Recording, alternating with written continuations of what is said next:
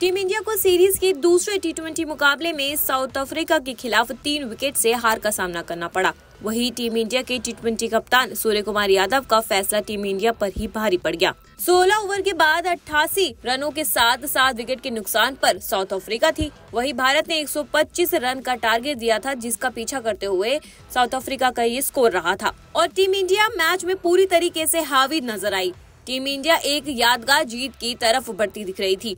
और Indian spinners का जादू भी सर चढ़ कर बोल रहा था। वहीं साउथ अफ्रीका टीम के ट्रिस्टन स्टब अपनी टीम के लिए अकेले लड़ते हुए नज़र आ रहे थे। हालाँकि इसके बाद सत्रहवे और अठारवे ओवर में सूर्य कुमार यादव की खराब कप्तानी ने मुकाबले का रूख ही पूरी तरीके से पलट कर रख दिया, जिसमें टीम इंडिया की जीत सिर्फ़ इन्हीं दो ओवरों में हार में तब्दील हो गई। वही कप्तान सूर्य कुमार यादव का गलत फैसला टीम इंडिया पर भारी पड़ गया, जिससे टीम इंडिया ने जीता हुआ मैच भी अपने हाथों से गवा दिया।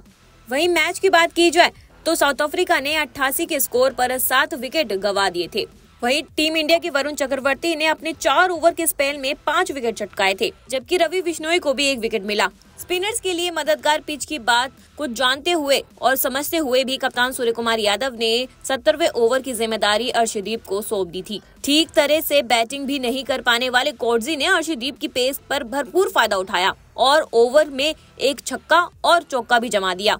वही अर्शदीप के ओवर से 12 रन भी आ गए और इसी मैच में अक्षर पटेल ने सिर्फ़ एक ओवर डाला था और उन्होंने महज दो रन दिए थे। अर्शदीप के ओवर से 12 रन आ चुके थे। मैच की नाजुक स्थिति और स्पिनर्स को मिल रही मदद के बावजूद भी कप्तान सूर्य कुमार यादव ने वही गलती की, जो अठारवे ओवर डालने के बाद उन्होंने आवेश खान को बुला लिया। सूर्य कुमार का ये दाव भी एकदम उल्टा ही पड़ता हुआ नज़र आया। आवेश के खिलाफ कोटजी ने लगातार दो चौके जमाते हुए दबाव को बिल्कुल ही खत्म कर दिया। वही अठारह ओवर खत्म होने के बाद साउथ अफ्रीका को जीत के लिए सिर्फ़ तेरह रन चाहिए थे। आशीदीप के अगले ही ओवर में स्टब्स ने तीन चौके लगाकर साउथ अफ्रीका को आसानी से जीत दिला दी।